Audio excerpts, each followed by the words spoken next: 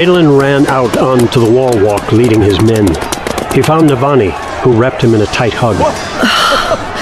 Elhokar? Adolin shook his head. I'm sorry. She pulled him tight, and he dismissed his blade, holding her as she shook. He pulled his aunt tighter, feeling her pain mirror to his own.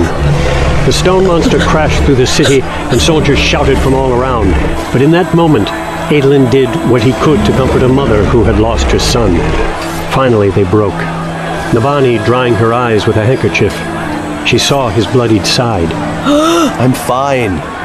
Renarin healed me. I saw your betrothed and the bridgeman down below. So everyone. everyone but him? I'm sorry, Aunt. I just. We failed him. Elhokar and Kholinar both. Come. Our focus now has to be on keeping this city from suffering the same fate. They joined Queen Fen, who was surveying the battle from atop the wall. Estnatil was on the wall with us when that thing hit. She was speaking to her son. He got thrown down and likely died, but there's a shard blade in that rubble somewhere. I haven't seen Chadar. Perhaps at his manor? I wouldn't be surprised to find him gathering troops at the upper tiers. Counting shard bearers, Thaylen had three sets of plate and five blades, a solid number of shards for a kingdom of this size. Eight houses passed them down, father to son, each of whom served the throne as a high guard. You need to join your troops. Block off a street below, coordinate a resistance, then. Adolin stumbled back as the wall shook, then the broken gap in it mended. Metal grew like crystals to fill the hole, springing into existence out of nothing. The end result was a beautiful, brilliant section of polished bronze melding with the stonework and completely sealing the gap. Town's palms. Fen and her consort stepped closer to the edge and looked down at Jasnah, who dusted off her hands, then rested them on her hips in a satisfied posture.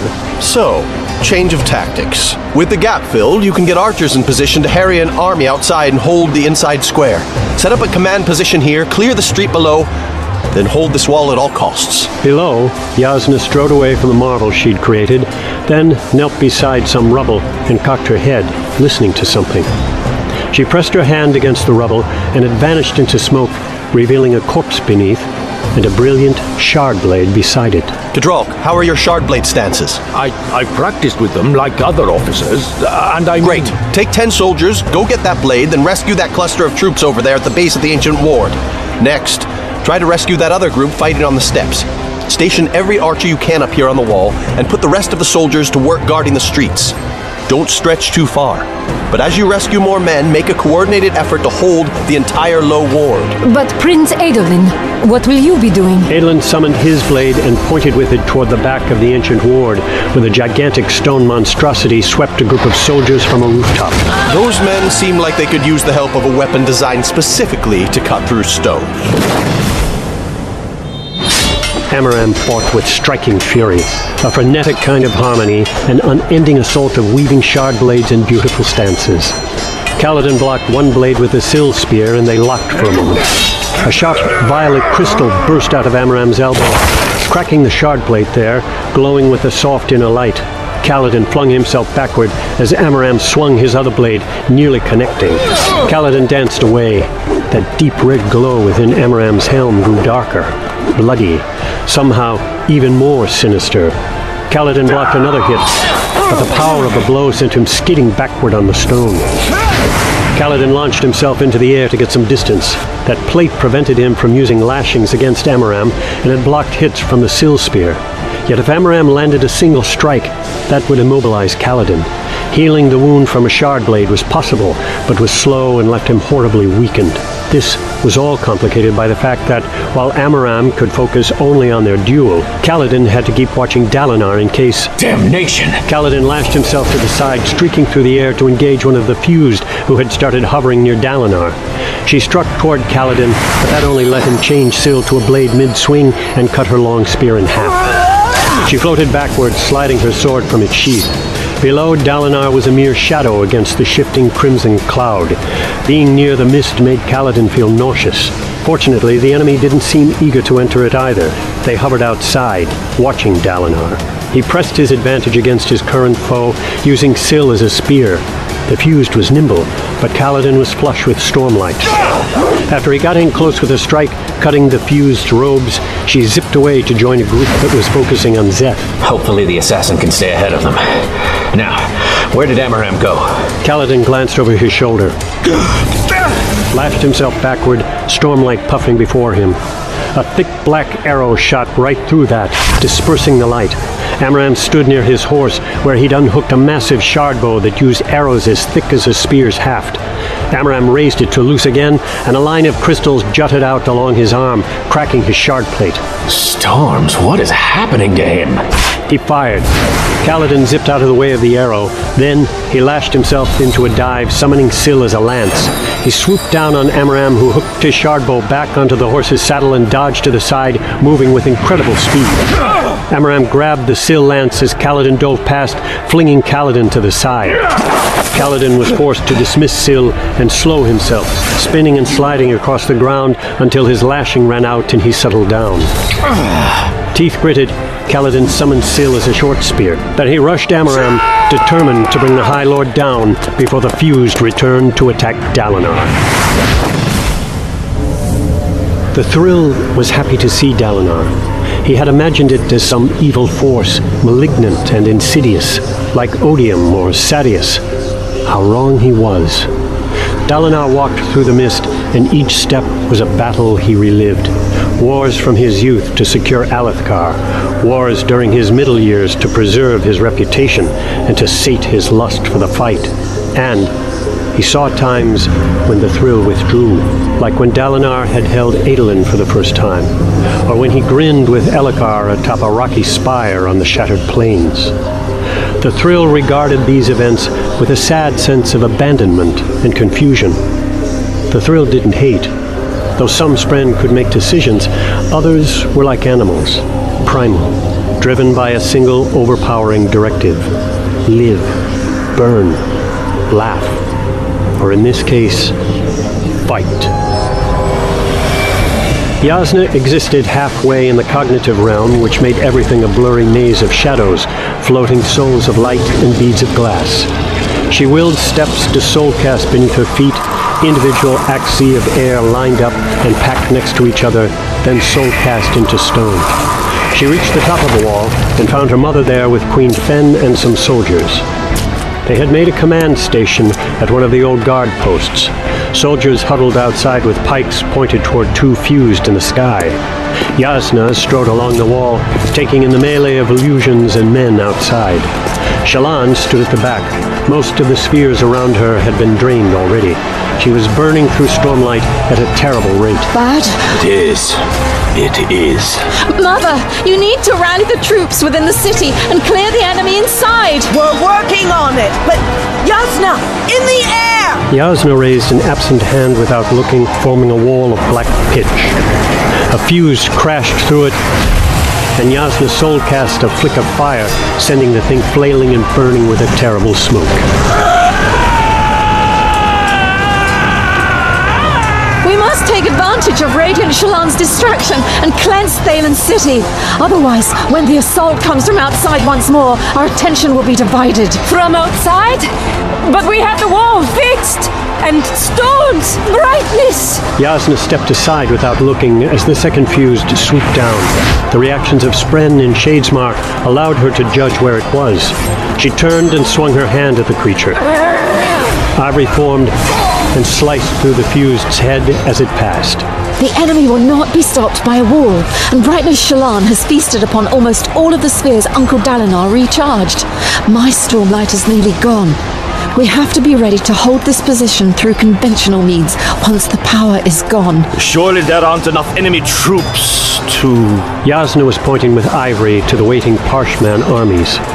Neither the hovering red haze nor the breaking lightning of the storm was enough to drown out the red glows beginning to appear in the Parshman's eyes. We must be ready to hold this wall as long as it takes for troops to arrive from Urithiru.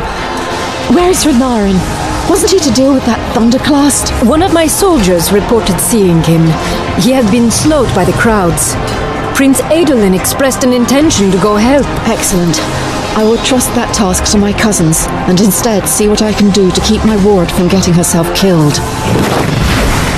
Szeth wove and dodged between the attacks of five enemy fused, carrying the large dun ruby in his left hand, the sheathed black sword in his right. He tried to approach Dalinar in the red mist, but the enemy cut him off, and he was forced to turn east. He skimmed the now repaired wall and crossed over the city, eventually soaring past the monster of stone. Szeth lashed himself downward, diving for the city streets. Behind him, Fused broke around the monster and swarmed after. The Fused were deft, more skilled than he was. He dodged among the streets, but they kept on him. He swung around, left the ancient ward, and shot for the wall, trying to get back to Dalinar. Unfortunately, a swarm of the enemies cut him off. The rest surrounded him. Looks like we're cornered. Time to fight, right? Accept death and die slaying as many as possible? I'm ready. Let's do it. I'm ready to be a noble sacrifice. No, I do not win by dying. Szeth lobbed the gemstone away as hard as he could. The fused went after it, leaving him an avenue to escape. He dropped toward the ground where spheres glistened like stars. He drew in a deep breath of stormlight, then spotted Lift waiting on the field between the fighting illusions and the waiting parshmen. Szeth settled down lightly beside her. I have failed to carry this burden. That's okay. Your weird face is burden enough for one man. Your words are wise. You're right, Sword. He's not very fun, is he? I think he's deviant. Szeth did not know this word. We have not fulfilled the Blackthorn's demands. I could not stay ahead of those fused long enough to deliver the stone to our master. Yeah, I saw. But I've got an idea. People are always after stuff, but they don't really like the stuff. They like having the stuff. These words are not so wise. What do you mean? Uh, simple. The best way to rob someone is leave them thinking that nothing is wrong. Shallan clung to Veil's and Radiant's hands. She'd long since fallen to her knees, staring ahead as tears leaked from her eyes. Taut, her teeth gritted, she'd made thousands of illusions, each one. Each one was her, a portion of her mind, a portion of her soul. Odium had made a mistake in flooding these soldiers with such thirst for blood. They didn't care that Shallan fed them illusions. They just wanted a battle. So she provided one, and somehow her illusions resisted when the enemy hit them. She thought maybe she was combining soul casting with her light weaving. The enemy exulted in the fray. She painted the ground red and sprayed the enemy with blood that felt real. She absorbed them in the false reality, and they drank it in. They feasted on it. Each one of her illusions that died hit her with a little shock, a sliver of her dying. The illusion absorbed her entirely, and she lost track of everything else, like when she was drawing. Creation spren blossomed around her by the hundred, shaped like discarded objects. Storms. It's beautiful. She gripped Veil's and Radiant's hands together. They knelt beside her, heads bowed within her painted tapestry of violence. Her Hey, could you uh, stop hugging yourself for a minute? Because I need some help. Kaladin ducked toward Amaram, thrusting with his spear one-handed. His spear hit right on target, where it would have dug into the armpit of an ordinary opponent. Here, unfortunately, the spear just slid off. You have great form, Spearman. Do you remember when you first came to me? Back in that village when you begged me to take you? You were a blubbering child who wanted so badly to be a soldier. The glory of the battle. I could see the lust in your eyes, boy. Kaladin stepped back, reluctantly changing Syl into a blade, which would be better for cracking plate. He fell into wind stance, which had always seemed appropriate. Amaram surged forward, his second shard blade appearing in his waiting grip. Kaladin dodged to the side, ducking under one blade and getting at Amaram's back, where he got in a good hit on the plate, cracking it. He raised his blade to attack again. Amaram slammed his foot down, and his shard plate boot shattered. Beneath his ripped sock revealed a foot overgrown with carapace and deep violet crystals. As Kaladin came in for his attack, Amaram tapped his foot, and the stone ground became liquid for a moment. Kaladin stumbled, sinking down several inches as if the rock were creme mud. It hardened in a moment, locking Kaladin's boots in place. Amaram swung with two shard blades parallel to one another. Syl became a halberd in Kaladin's hands, and he blocked the blows, but their force threw him to the ground, snapping his ankles. Kaladin hauled his pained feet out of the boots and pulled himself away. Amaram's weapon sliced the ground behind, narrowly missing him. Then Amaram's other armored boot exploded, crystals from inside breaking it apart. The High Lord pushed with one foot and glided across the ground incredibly quick, approaching Kaladin and swinging. Syl became a large shield. Kaladin lashed himself backward, getting out of range as Stormlight healed his ankles. He scooped up a stone and lashed it toward Amaram's horse. Beating up the animal because you can't defeat me? Amaram didn't seem to notice that the horse, in bolting away, carried off the shard bow. Amethyst crystals broke Amaram's armor all up the arms. How do I defeat whatever that thing is? Stab it in the face? Well, it's worth a try. Kaladin lashed himself up a few inches so he wouldn't sink into the ground if Amaram tried again to do whatever he'd done. Then he moved backward carefully, positioning himself where Amaram would likely leap across a broken foundation to get at him. Kaladin raised Syl as a shard blade, but shifted his grip, preparing for the moment when she'd become a thin spear he could ram right through that faceplate. Something hit Kaladin with the force of a falling boulder, flinging him to the side. His body broke, and the world spun. By instinct, Kaladin lashed himself upward and forward, opposite the way he'd been flung. He slowed and released the lashings right as his momentum ran out, touching down, then slid to a stop on the stone, pain fading from a healed shoulder and side. A brawny fuse taller even than Amaram in his plate dropped the shattered club that he'd used on Kaladin. His carapace was the color of stone. He must have been crouching near that foundation, and Kaladin had taken him for merely another part of the stony field. As Kaladin watched, the creature's brown carapace crusted up his arms, covering his face like a helm, growing to thick armor in a matter of moments. He raised his arms and carapace spurs grew above and below the hands. Delightful.